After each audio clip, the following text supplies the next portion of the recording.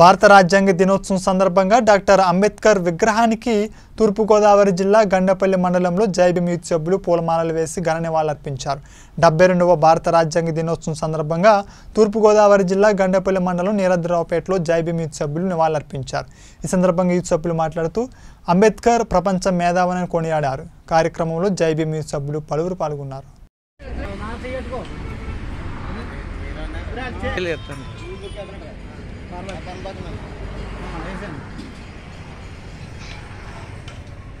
ఇలా చూడండి బాబు? పట్టుకోమా నాన్న పట్టుకుని వెళ్ళ చూడు. ఇలా చూడండి? పట్టుకో.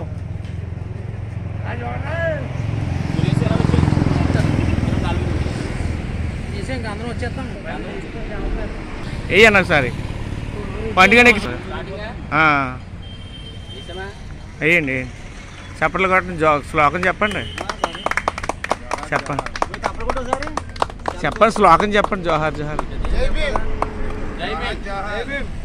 యొక్క ఆయనకి స్మరించుకోవడానికి జేబీఎం యూత్ తరపు నుంచి అలాగే గ్రామ వైఎస్ఆర్ పార్టీ నుంచి అలాగే గ్రామ పెద్దల నుంచి కూడా సహాయ సహకారాలతో ఈరోజు మన బాబాసాహెబ్ అంబేద్కర్ గారికి ఘన నిల నివాళి అర్పించడానికి ఈరోజు నిలద్రపేట గ్రామంలో ఏర్పాటు చేసినటువంటి కార్యక్రమానికి ఇచ్చేసినటువంటి గ్రామ పెద్దలందరికీ వైఎస్ఆర్సీపీ నాయకులకి అలాగే మన జేబీఎం యూత్ వారికి మాజీ సభ్యుల వారికి గ్రామ పెద్దలకి అందరూ కూడా మా యొక్క శుభాభివందనాలు తెలియపరుస్తున్నాం.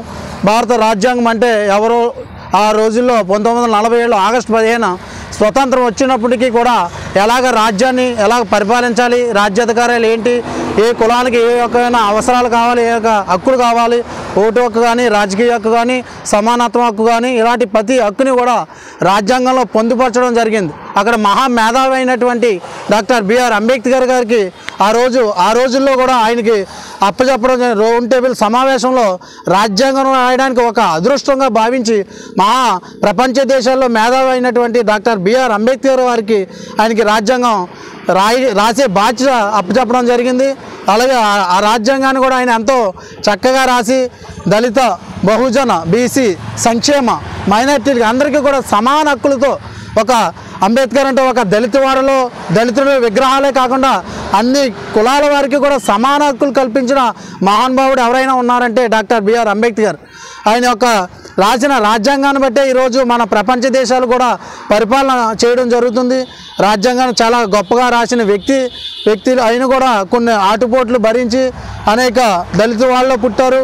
అనేక అవమానాలు పొంది కూడా రాజ్యాంగం రాసినప్పుడు కూడా ఆయన అనేక అవమానాలు పొందారు. ఆ అవమానాలు మా వాళ్ళు కాకుండా ఇప్పుడు పు- తరతరాలు కూడా పొందకూడదనే రాజ్యాంగంలో మనకి సమానత్వ హక్కు కానీ ఓటు హక్కు కానీ ఎస్సీ ఎస్సీ ఎస్టీ సప్లాన్ నిధుల గురించి నిధులు నిధులకు సంబంధించిన హక్కులు కానీ కూడా కొన్ని హక్కులు మనకు ఏర్పాటు చేయడం జరిగింది. ఆయన బోధించు సమీకరించు అన్నట్టు మనం ఆయన మార్గంలో నడిస్తే మన హక్కులు చాలా ఉన్నాయి. ప్రతి హక్కుని కూడా మనం తీసుకురావడానికి కూడా మన అందరూ జేబీ సభ్యులు అందరం కూడా ఒక ఏక ఏకతాటిపై వచ్చి ప్రతి హక్కుని కూడా మనం పొందుకోవాలి. ఎందుకంటే మన రాజ్యాల్ని మన దేశాన్ని ప్రపంచ ప్రపంచాన్ని పరిపాలించేవారు అనేక ఇతర కాస్టుల వారు ఉంటారు. వాళ్ళు అనగారిన వర్గాన్ని మన ఇంకనూ కూడా దళితులమని మన ఇంకనూ కూడా వెనకబట్టడం జరుగుతుంది. అటు రీతిగా కాకుండా వాళ్ళు మన ముందు ఉండాలంటే మన రాజ్యాంగాన్ని పట్టుకుని మనం ముందుకెళ్తే ఏ హక్కునైనా ఏమైనా కానీ సాధించట్టు మన అందరం కూడా కలిసికట్టుగా ఉండి మనకు రావాల్సిన ప్రతి హక్కుని కూడా ప్రతి ఒక్క స్వతంత్రాన్ని కూడా మనం పొందుకోవడానికి మనకు అనేక మార్గాల్లో బాబాసాహెబ్ అంబేద్కర్ రాసిన విధానాల్లో మనం నడిస్తే ప్రతి ఒక్క పోరాటంలో కూడా మనం ముందుకు వెళ్ళిపోతామని మనం ఈ ఈరోజు సభాముఖంగా తెలియపరుస్తున్నాం. ఈ అవకాశం ఇచ్చినటువంటి జేబీఎం సభ్యులకి గ్రామ పెద్దలకు కూడా ప్రత్యేకమైన నమస్కారాలు తెలియపరుస్తూ సెలవు తీసుకుంటున్నామండి. డాక్టర్ బిఆర్ అంబేద్కర్కి జోహార్ జోహార్! జోహార్ జోహార్! జోహార్ జోహార్! డాక్టర్ డాక్టర్ బిఆర్ అంబేద్కర్కి! ముందుగా ఇక్కడ వచ్చిన జేబీ సభ్యులందరికీ పెద్దలకు నా నమస్కారాలు.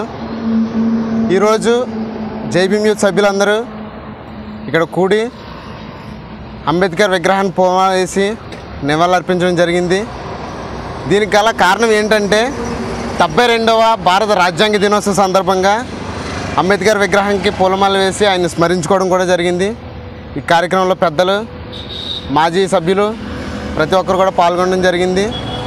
దీని యొక్క విశేషం ఏంటంటే పంతొమ్మిది వందల నలభై ఏడులో ఆగస్టు పదిహేను మనకి స్వాతంత్రం వచ్చిన తర్వాత పంతొమ్మిది వందల నలభై తొమ్మిదిలో నవంబర్ ఇరవై ఆరున రాజ్యాంగ సభలో భారత రాజ్యాంగం రాయడానికి రూపకల్పన జరిగింది. దాని తర్వాత పంతొమ్మిది వందల యాభై నవంబర్ ఇరవై ఆరున రాజ్యాంగం రాజ్యసభలో చట్టసభలో అవతరించింది. అలాగే దీన్ని పూర్తిగా పూర్తి స్థాయిలో జనవరి ఇరవై ఆరున రూపొందించడం జరిగింది. అలాగే ఈరోజు యొక్క విశేషం ఏంటంటే న్యాయ న్యాయ భారత న్యాయ దినోత్సవం కూడా భారత రాజ్యాంగం చట్టం మీద ఆధారపడి పనిచేస్తుంది కనుక భారత రాజ్యాంగ దినోత్సవాన్ని న్యాయ దినోత్సవంగా కూడా జరుపుకోవాలని గవర్నమెంట్ నిర్ణయించింది.